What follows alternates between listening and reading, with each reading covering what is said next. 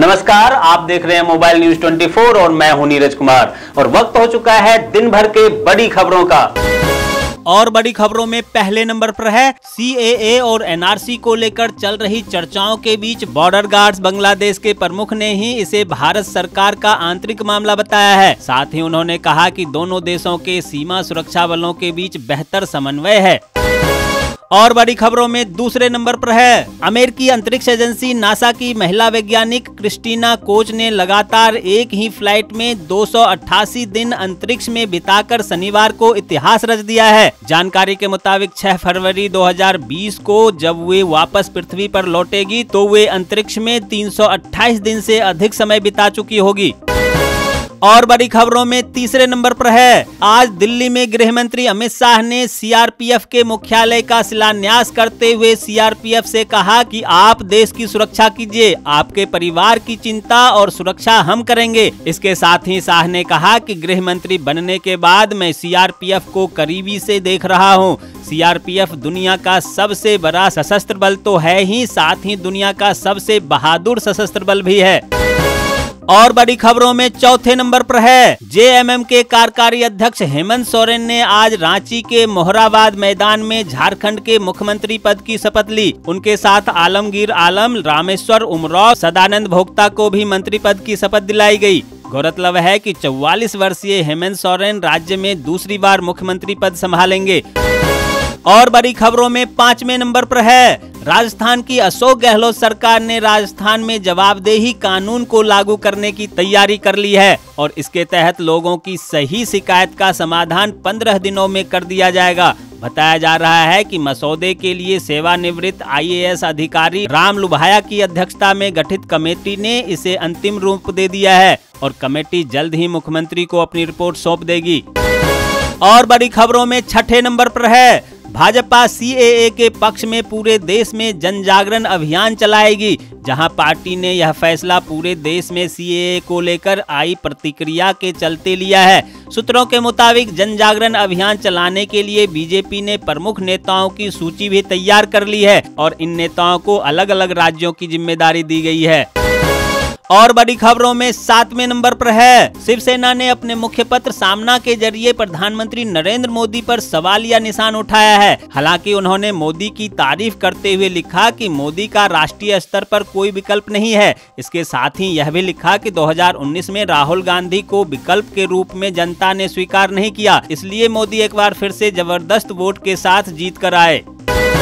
और बड़ी खबरों में आठवें नंबर पर है। कांग्रेसी महासचिव प्रियंका गांधी वाड्रा के पति रॉबर्ट वाड्रा ने आज कहा कि प्रियंका, मुझे आपकी दयालु होने और जरूरतमंद लोगों तक पहुँचने के लिए आप पर गर्व है। आपने जो किया, वह सही था और जरूरतमंद लोगों के साथ या उनके दुख में शामिल होना कोई गलत नहीं है। वाड्रा ने पूर्व आई अधिकारी एस आर दारापुरी के परिवार के साथ प्रियंका गांधी के मिलने के बाद ये बयान दिया।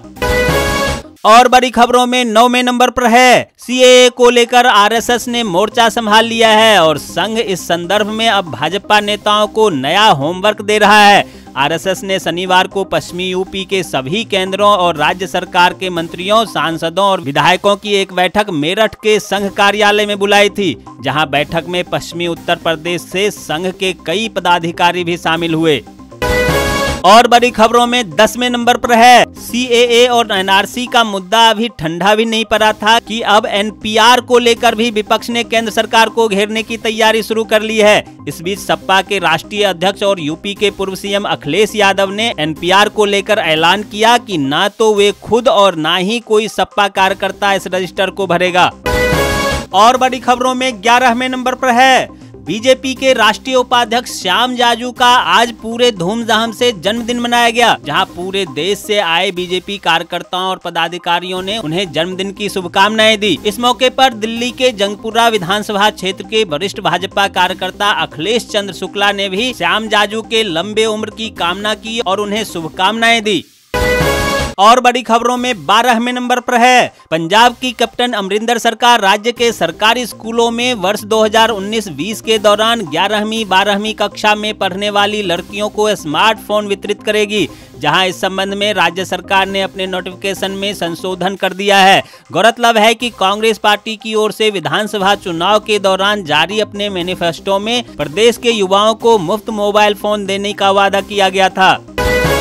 और बड़ी खबरों में तेरहवें नंबर पर है। मध्य प्रदेश के अतिथि विद्वान नियमितीकरण की मांग कर रहे हैं। यह मुद्दा फ़िलहाल चर्चा में है और इस बीच भाजपा प्रदेश अध्यक्ष राकेश सिंह ने कहा कि मध्य प्रदेश में अतिथि विद्वान के हालात खराब हैं। अतिथि विद्वान बेहाल हैं, लेकिन कांग्रेस सरकार सिर्फ़ और सिर्फ़ इस मामले पर राजनीति कर रही है।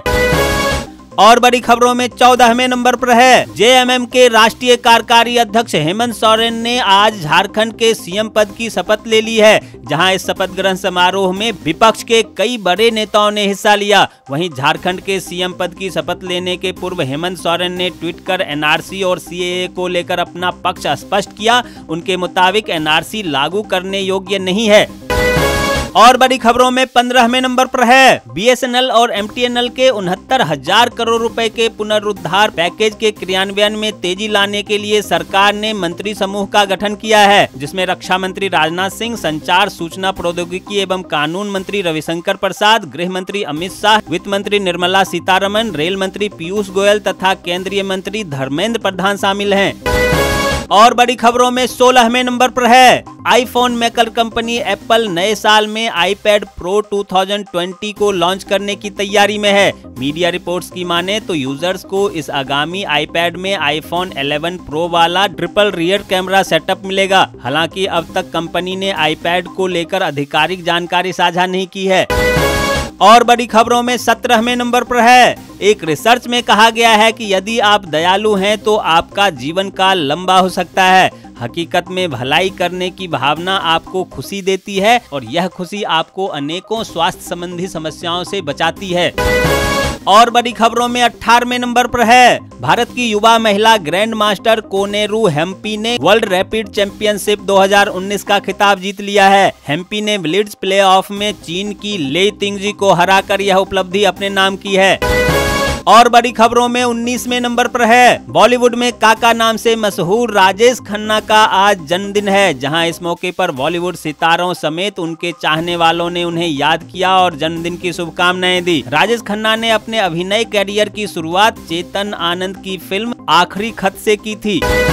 और बड़ी खबरों में बीसवें नंबर पर है। सुपरस्टार अजय देवगन के फ़ैन, उनके अपकमिंग मूवी तानाजी का बेसब्री से इंतज़ार कर रहे हैं। इस बीच इस फ़िल्म का डायलॉग, प्रोमो सामने आया है, जिसे लोग काफ़ी पसंद कर रहे हैं। आपको बता दें कि अजय देवगन के लिए यह फ़िल्म बहुत खास है, क्योंकि ये उनकी 30 साल के फ़िल्म सफ़र की सौवीं फ़िल्म है, जो 10 जनवरी को रिलीज़ होगी। तो ये थी दिन भर के बड़ी खबरें और ऐसे ही खबरों से अपडेट रहने के लिए आप हमारे चैनल को अभी सब्सक्राइब कर लीजिए और सब्सक्राइब बटन के साथ में जो नोटिफिकेशन बेल है, घंटी है, उसे भी दबा दीजिए ताकि देश और दुनिया के तमाम खबरों से आप रह सकें अपडेट।